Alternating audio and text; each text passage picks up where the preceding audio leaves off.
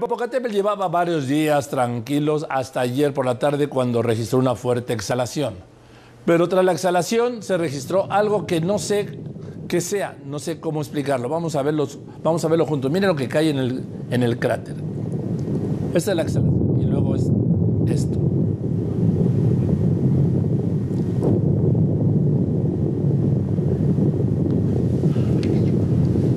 Ahí está esto que cae en el cráter. Ante esto no se lo presenté ayer porque buscamos especialistas que hasta hoy nos dieron estas explicaciones. Miren. Estas son imágenes captadas por la cámara de Televisa ubicada en el Cerro Alzomoni muy cerca del volcán Popocatépetl. Según especialistas, se trata de un objeto de aproximadamente un kilómetro de largo por 200 metros de ancho.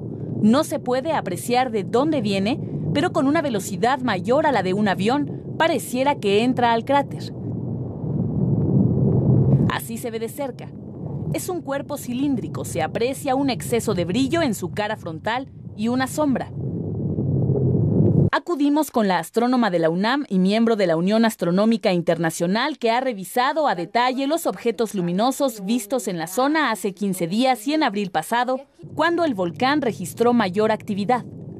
Una cosa interesante en todo esto es que va en caída. Sería todavía más espectacular si fuera en subida. ¿eh? Cuando es algo que va cayendo, como que hay más causas naturales que cuando va subiendo.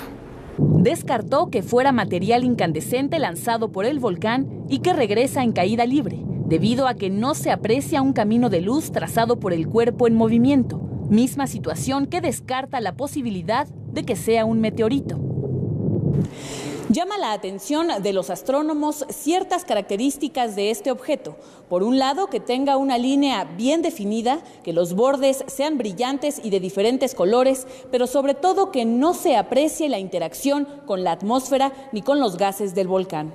Imagínense un cilindro de un kilómetro de largo y de 200 metros de ancho o sea, dos calles de ancho y un kilómetro de largo, en una zona donde hay, aparte de la atmósfera terrestre, pues están todas estas exhalaciones, gases y todo caliente.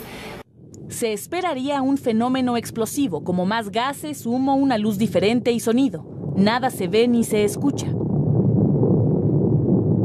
La especialista aseguró que incluso puede tratarse de un defecto del video que muchos de los píxeles de la imagen están saturados. Entonces, como que fuera un rayón o algo, como que pareciera que no es parte del video original. Una sola imagen para los científicos, dijo la astrónoma, no es suficiente para hacer una aseveración. Es un fenómeno interesante, hay que estar atentos, pero se necesita confirmación. Saraí Méndez, Noticieros Televisa. Bueno, lo vimos ahora en cámara lenta. Así es como lo, registró nuestra cámara que está ahí permanentemente. No, eso es en cámara lenta. Así lo registró exactamente así. Bien, entonces este es el registro original. Bueno, el, fin de semana buscaremos mayores explicaciones con especialistas. Mientras